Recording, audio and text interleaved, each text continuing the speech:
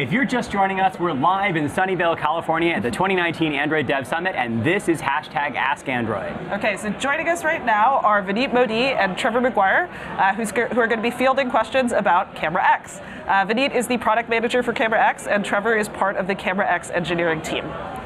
All right. So Kalahandi M asks, uh, so when will you release the stable version of a Camera X API? Everyone so, wants to know this. so we're, we're pretty excited to share that like uh, Camera X will be beta uh, end of this year, mm -hmm. and then with the beta release, developers will be able to use Camera X in production. That's great.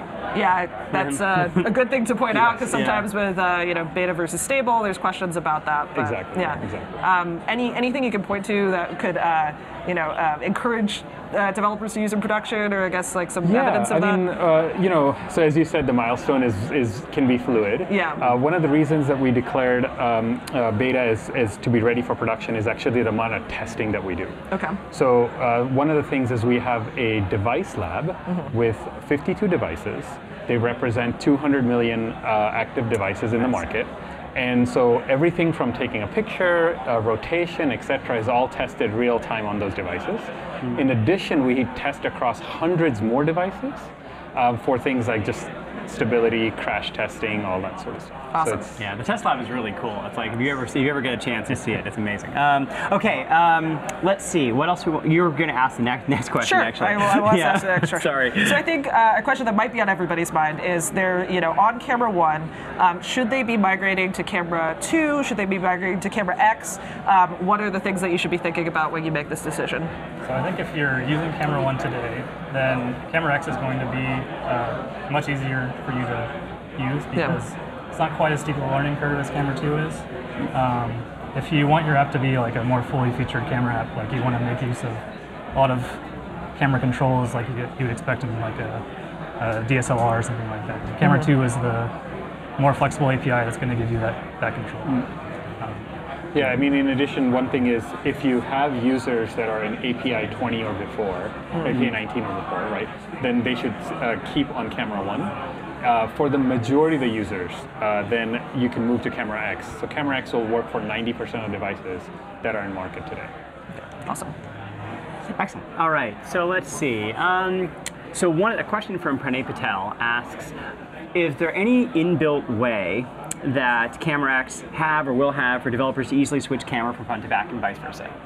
Yeah, so today you can actually do this. Uh, with um, use cases, you configure them with a specific camera in mind. So you say, I want to use the back camera, mm -hmm. uh, and then you bind it to a lifecycle. Now, life cycles don't always line up with when you want to switch cameras. So mm -hmm. you know, you might be in the same activity and you want to use the back or the front camera from the back camera. And so what you can do is you can actually unbind the use cases from uh, that life cycle, and then bind new use, use cases with the front camera um, as the configured camera. And so that'll that'll help you switch cameras easier than you could do with camera two or camera one. Um, in addition to that, we also do have the camera view module.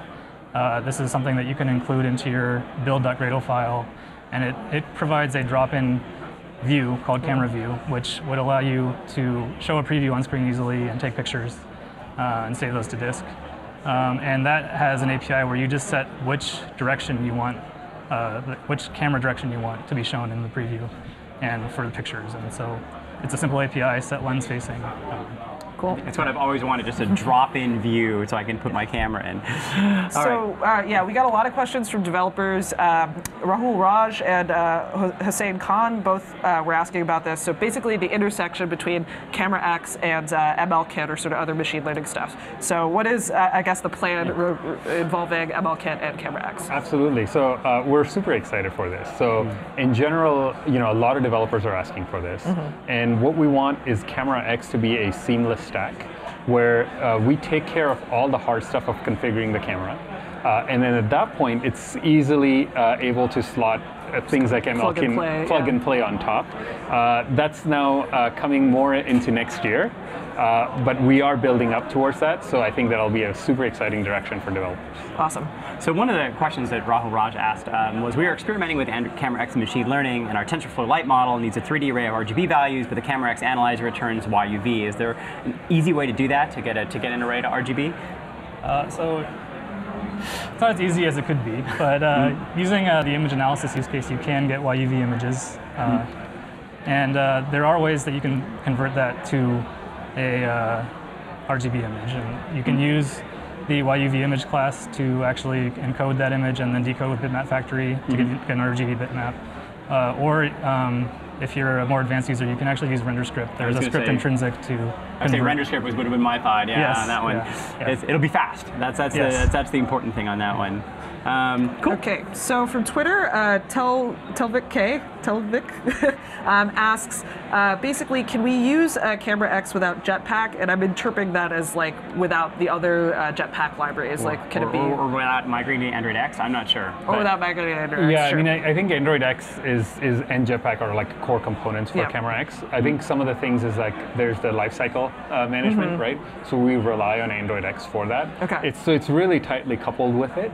Uh, so I think our recommendation to developers is to really uh, consider migrating to Android X uh, as part of Camera X. Okay, so you, you migrate to Android X. Uh, do you need to be using like view model and live data, or are those uh, separated from that? So uh, no, um, okay. we, we do want to uh, expose some of these new features that, or these new sort of programming paradigms in Yeah. Camera X if we can, but um, you will need to use life cycles right now. Mm-hmm. Um, and uh, live data is something that's optionally going to be available as well. But um, yeah. Uh, Yeah, so it's like very compatible with you know kind Yeah. of this latest and greatest stuff, uh, but you can use it without it. Yes, All indeed. right, cool. So Magic Dex from the YouTube live stream was asking um, how or if Camera X is going to handle multiple camera streams at once.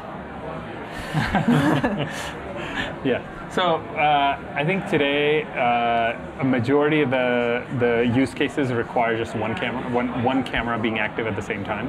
Uh, we are kind of overall on the platform.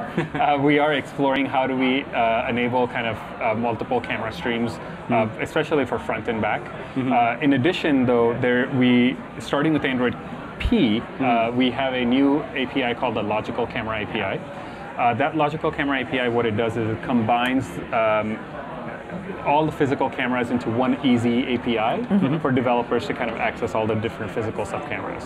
Camera X will be able to work with all these, all the all the framework APIs that, that are existing. I, I presume that's supported on Pixel too, like with the two rear cameras. Like is that? Uh, yes, so the Pixel is using a, a logical camera um, API for both the front and the back. oh, great, excellent. Cool. Okay, so we talked about uh, front and back. Uh, we have uh, Cyprian uh, asking, is the uh, handling of screen rotation uh, fixed, in Fixed. Camera X? uh, maybe I could phrase that a little bit different, but basically, it's, it's screen rotation could be easy uh, in Yes. Camera X. Yeah, so screen rotation is a is a very hard problem because you know developers have to worry about what what's the orientation of the sensor Yeah. on their Yeah. phone, what's the natural orientation of the device, um, and like what's the current display orientation. So. Uh, we have a sample CameraX Basic that they can take a look at, which uh, does show how to use it with Camera X. And we have a few new things coming up soon, so keep an eye Okay. out. I think uh, calling out the sample is great because we're actually almost up. Is there anything else uh, for getting started with CameraX that uh, developers should know or go to? Uh, th- so there's the Camera X uh, website uh, on, on developer.android.com, and I think that's the best way to get started with Camera X. Okay, great. Excellent. Well, Trevor, Vinny, thank you so much. Um, if you want to learn more about Camera X, of course, we also, in addition to the website, we have the Camera X Code Lab. And, uh, and again, we'll be back soon. So uh, thank you very much.